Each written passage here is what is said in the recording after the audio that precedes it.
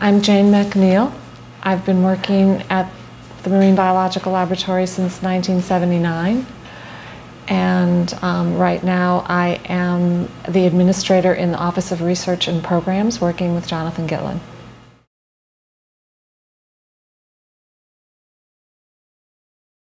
I was hired by Mort Mazer, who was at the time the assistant director, working under Paul Gross and um, it was a very interesting experience. I had no, I had been living in Hyannis for several years, and I had never been to Woods Hole. I had no idea about it, but I saw the ad in the paper. They were looking for an admissions officer. That's what my first title was here. And they had an ad in the paper, and I applied, and I came for the interview, and I was blown away when I drove down Water Street and saw Woods Hole for the first time. I had just no no sense of it at all, and um, they had over they had over 100 applicants for the position, and he narrowed it down to five. And I was the only one who didn't have a bachelor's degree. I had an associate's degree in secretarial science at the time. I've gotten my bachelor's since, but at the time, um, he was going to just drop me out right away just based on that and just pick someone who already had a bachelor's degree. And I sent him a note saying thank you for the interview, which I had learned to do in my secretarial science classes. And so he hired me right away. so it worked out really well. And um, they called it an admissions officer, but it wasn't like at a university. Really, all I did was the paperwork to get the students here and you know the courses arranged and the applications through to the directors. Um, you know about MBL's educational courses, the directors actually choose the students that they take into their courses. So there was a lot of paperwork involved back then, nothing was electronic. So that's what I was doing for Mort. And he had just started um, a program where they had five courses over the January break. I remember one of them was taught by Fred Bang, and so I got to meet him and Betsy, and um, it was great. It was a great time to be here because people were just starting to really um, wanting to do more with the educational programs and have them more often, and more. It started the short courses which are like the analytical and quantitative light microscopy course and optical microscopy in biomedical sciences. So those were two of them. He did some computer courses as well and some other things that um, really made for a much more active community in the off season. And so I was all a part of that and it was really fun. We used to have a great time. We had, um, for every short course on Thursday night, they would have a lobster dinner. So we would all go to that and have a little party, at, you know, to celebrate the course. It, they started Sunday night and ended on Friday morning. And I remember after like three or four weeks, I was actually tired of lobster. It was so rich, and I never expected that to happen. That's when I met Dr. Inoué for the first time. Um, he was teaching the analytical and quantitative light microscopy course. And I think that must have been in the spring of 1981. If I came here in 79, the short courses I believe started in the fall of 80 and they started with the optical microscopy course taught by Bob Allen, so I got to meet Bob Allen as well. And then um, Dr. Inoué started with the course in the spring. He did his in May and Bob did his in October. And um, they were great. They were so fun. We used to go over there and, and work with them and, and you know help them out and do whatever they needed to be done because they didn't have a lot of lab assistants. So even though I was doing secretarial work in the office, you know, Mort would always call me over and say, "Oh, come over and help the course." And so it was very enlightening for me because I had no experience. And I remember the first time I had to learn to say the word microscopy, like I didn't even know how to pronounce it. So it was, it was a pretty good, it was challenging. I had come from Mount Holyoke College in the physical facilities plant, so I had no background in science.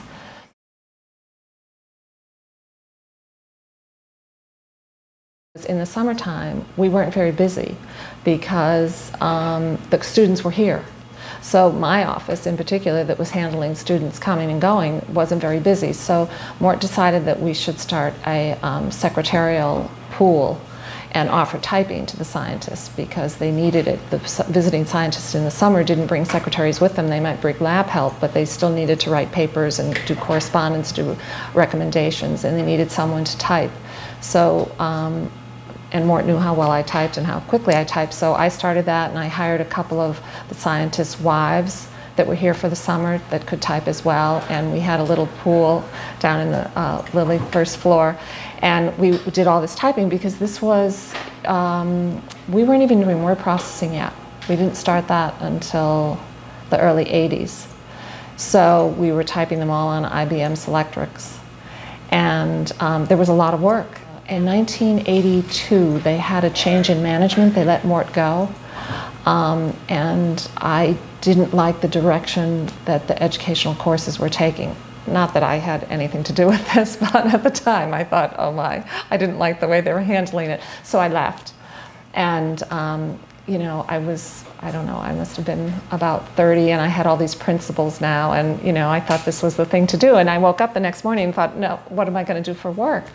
And I had met the people at the job shop, Dave and Ruth Shepard, and they were, um, they ran um, a, a, production company. So they printed brochures for us. They did all the short course brochures, all the educational uh, posters that we used to send out.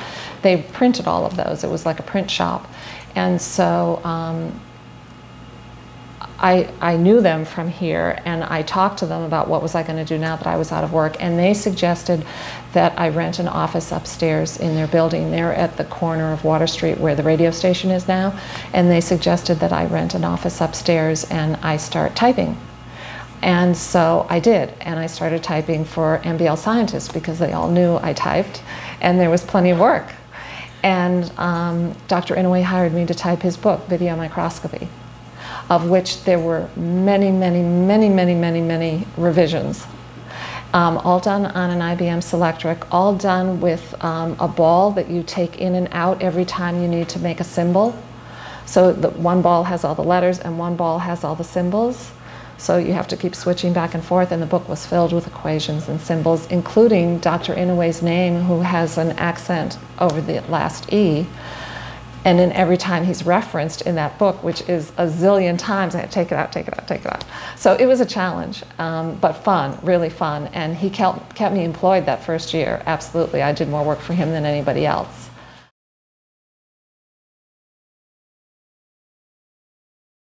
he was the best person that anyone could ever work for. And I know some people have told me like he could be very demanding. Um, I know when he was originally getting some of his grants done through some of the people in administration in the Candle House, I heard women say, oh my goodness, he wants everything to be perfect.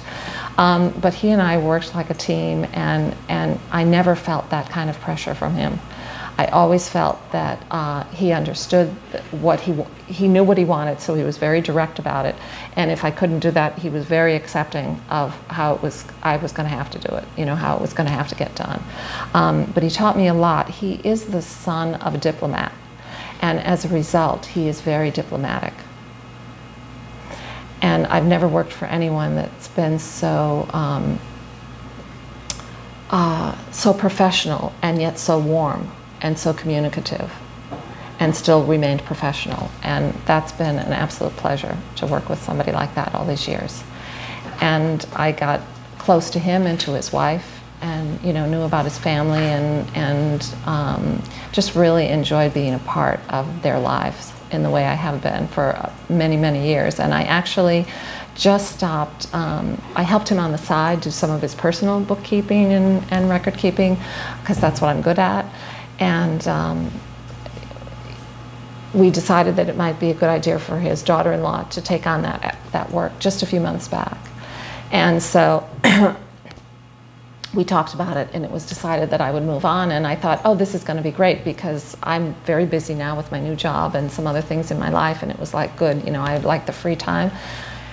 And the minute he told me I wasn't going to work for him anymore, I started to cry. I had no idea how emotionally, you know, draining that would feel because we've been so tight for so long.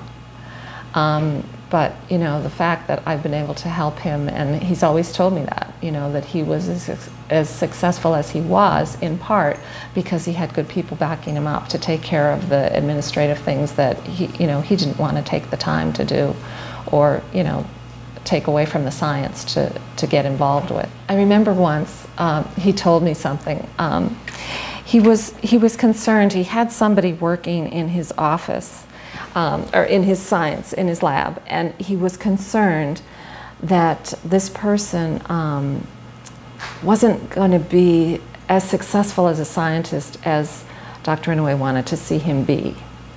And he was, he came to me, and I mean, I don't think he came to me for advice, but he was just talking it over, and he said, I'm concerned. And I said, Well, what makes you think he won't be as successful? And he said, Because he doesn't sleep overnight on a cot in the lab.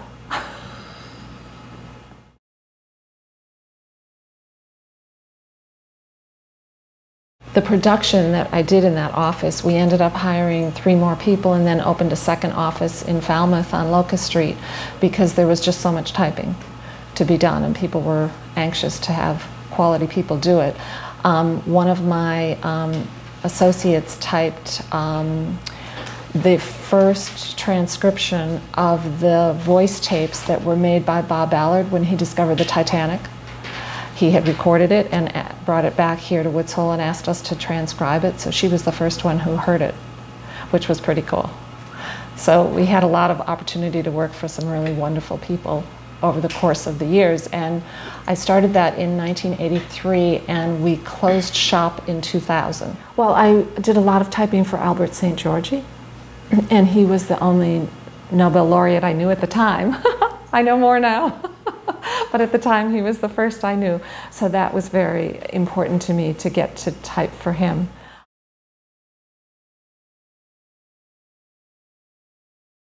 In 1992, John Burris, I guess it was 1991 maybe, John Burris invited me, he was the director then, he invited me to come here um, it was at a time when life was getting more litigious and they were concerned because they did not have anyone to handle their equal employment opportunity concerns.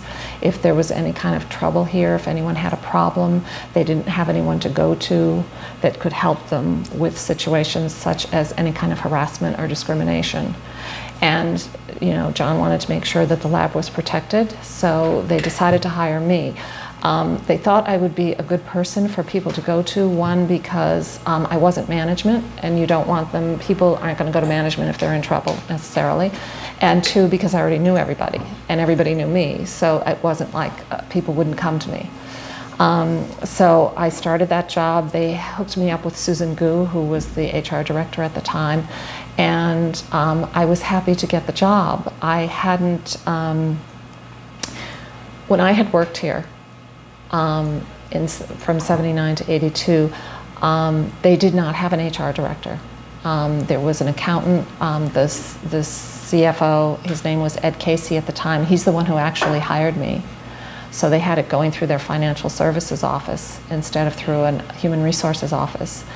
And um, I actually did have a problem with harassment uh, from something that happened to me here.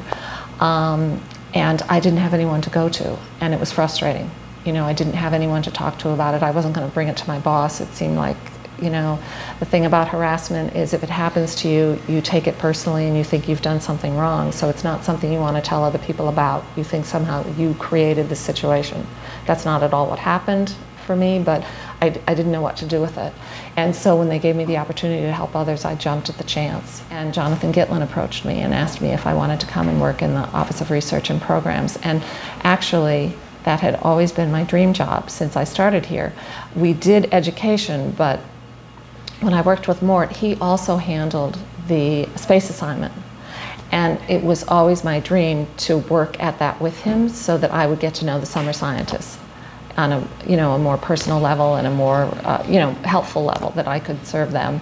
And, um, but I never got to do that because I was busy with the courses. So um, it was always like, oh, I would love to be working with the Whitman investigators now. That would be so fun. And when Jonathan offered the job, I was like, oh my goodness, I can't believe that that would be a possibility. Um, and also to become part of the affiliation. You know, Jonathan is at the forefront of affiliating us with the University of Chicago. And, you know, anything that I can do to make the MBL successful and move forward is, you know, is really dear to my heart. So I'm very committed to this institution.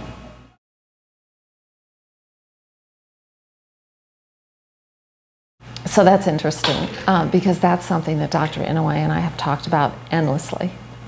Um, I think the way it's changed mostly is in government uh, regulations.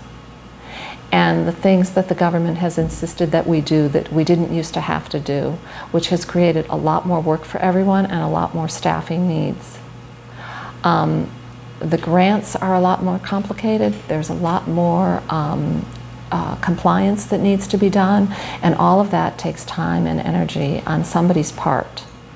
And so you have to hire people to do that. And Dr. Inoué was always like, I don't see why it can't run just like it did when Homer Smith and Florence Butts were here and they took care of everything.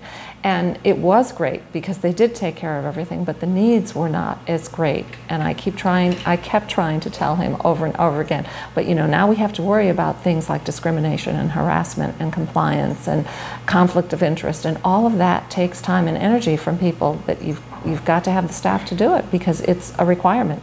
You can't get federal money if you're not doing those things. And so I think that's blossomed into, you know, the accounting systems are much more complicated now. You need a lot more staff to to make sure those are all in regulation. You need an IT department that's twice the size that it used to be. I mean, everything's electronic now, and all that has to be covered. It takes a lot of people, that takes more organization. So I see that they've become bigger and more professional, and so you, you know, there's a trade-off with that. You lose the personal, individualized attention, and I think one of the things that the MBL staff struggles with is that they try to continue to give that personal individualized attention and still do everything else. And it's an enormous effort.